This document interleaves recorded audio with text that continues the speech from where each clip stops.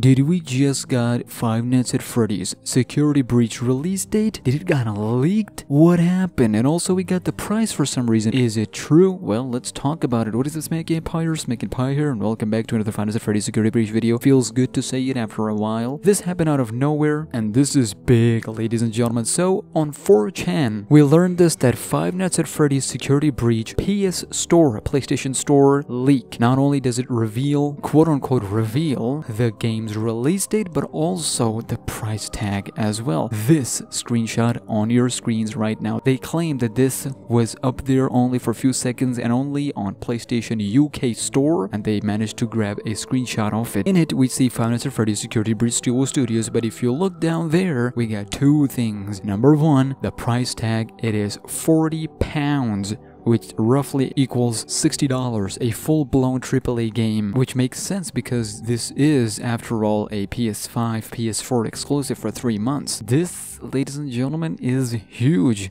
And not only that, we see the release date, look at that, 25th of May, 2021. Let me repeat myself, 25th of May, 2021. We are currently in March. We have April and then we have May. Now, it came from 4chan and also before we move on, if you look on the right side, it says supports up to two online players with PS Plus. That is what made me go, mm, alright, we're stretching here at this point. So, the false alarms, let's talk about them first. 60 bucks, okay, I can get behind that. But 25th May?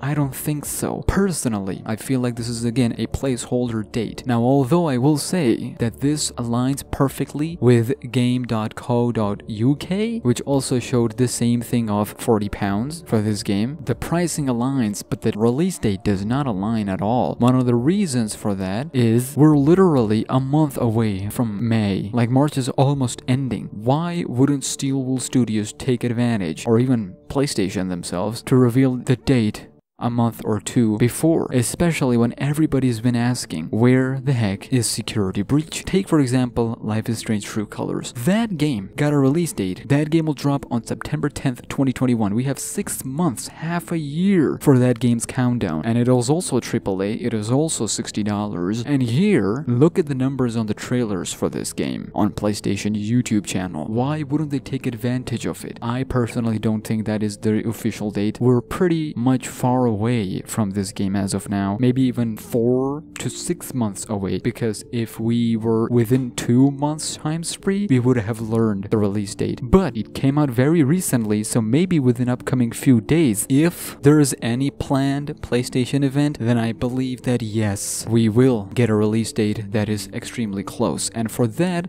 let me take you to another point that the upcoming Nvidia event. It won't showcase trailer. There is no official confirmation that we will get a trailer, but most likely than not we won't get a trailer. But there is an Nvidia event on 12th of April where the developers will get to talk about their upcoming games and Final Fantasy Security Breach is indeed listed as one of them. So we'll just kind of have to wait and see. No promises on trailer, no promises on the release date, just developers talking about maybe behind the scenes stuff. So there you go. Do whatever you want with that information. I would leave you here. But the release date is just a placeholder date in my opinion. Like the price is correct, the page itself being there, it is correct. The date being there is correct. However, the release date is just a placeholder date. I would leave you here. Do let me know your thoughts and theories. We will talk about security breach more on this channel, so make sure you are subscribed and notifications on. I'll be good to 75k and I'll see you in the next one.